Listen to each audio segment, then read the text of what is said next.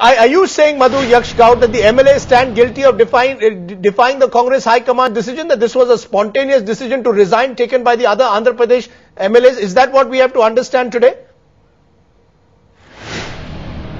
Congress was never delayed. People had a faith in the Srimati Soniaji's leadership. It is the only leader after Mahatma Gandhi and Prakash Narayan who refused to become a prime minister. The Andhra people always stood by the Congress and leadership of Srimati Sonia Ji and Dr. Manmohan Singh.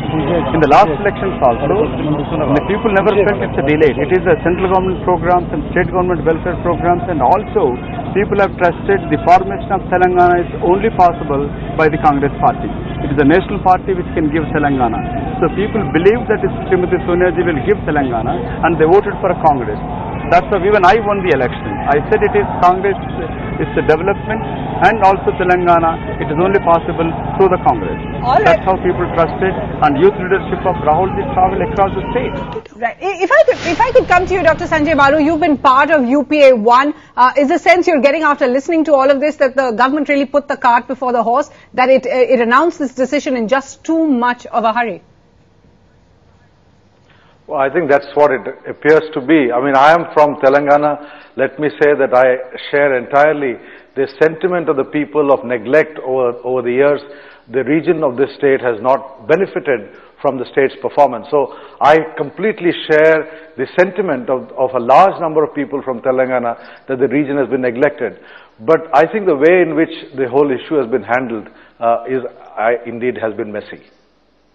When you say that, uh, uh, Dr. Let- you know, you, you, no one knows Andhra Pradesh as well as you do in terms of the political economy. You say you uh, you share the uh, uh, sentiment of the people of Telangana, but is A, Telangana viable? And B, the big question that people are asking, will Hyderabad, must Hyderabad then be part of this state? That, those are the ticklish issues that are not resolved, which is why the feeling is that this decision was taken in a hurry simply because KCR was on fast.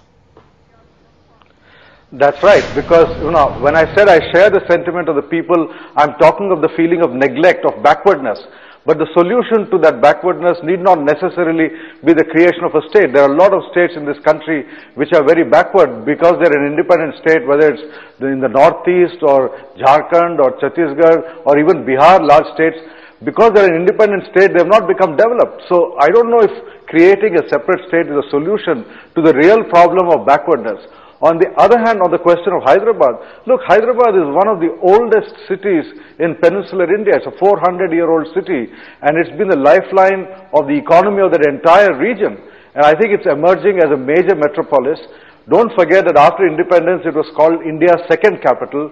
The President of India used to spend every summer at the Rashtrapati Nilayam in Hyderabad. It was a practice given up only about 20 years ago.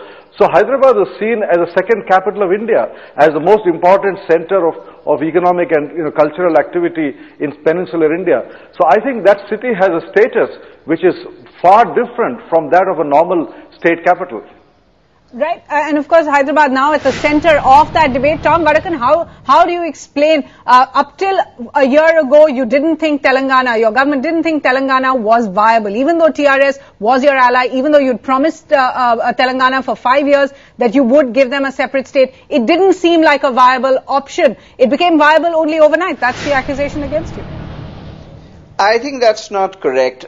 Their only position that the Cong- it is only Congress party which took a position from the very beginning that this has to be settled through consensus. It was the personal opinion of the Congress party was kept aside. The party's position was a consensus must emerge. Now let us examine the ground reality. The so-called parties which had agreed on consensus in parliament are having a, uh, are taking a 24 hours reversal. Fair